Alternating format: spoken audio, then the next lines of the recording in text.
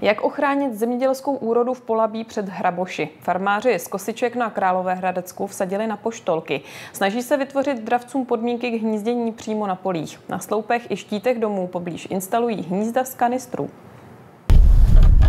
Místo chemie a jedovatých nástrah proti hrabošům návrat k přírodě. Farmáři z kosiček zvou do vysutých příbytků na polích poštolky, nepřátele hlodavců, ať si s nimi poradí. Lákají je tam, kde by se bez pomoci sami usadit nemohli. Ze starých kanistrů děláme nové budky, je to budka pro poštolky, takzvaný poštolník. Ta budka je prostě hnízdní příležitost, která v přírodě chybí. Musíme tam dát trávu na dno, ty budky.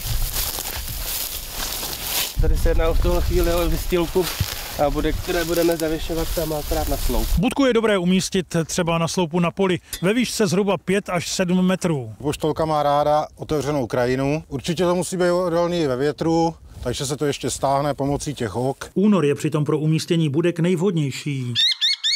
Poštolka začíná hnízdit v březnu. Odchová 3 až 8 mláďat do roka. Denně zbaví pole dvou i více hrabošů. Lovné teritorium má asi 500 metrů kolem hnízda.